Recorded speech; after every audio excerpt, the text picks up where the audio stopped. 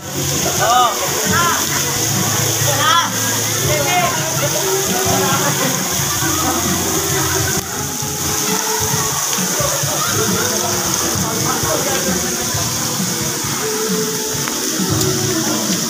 two naman yung video okay nila eh. Ah, yung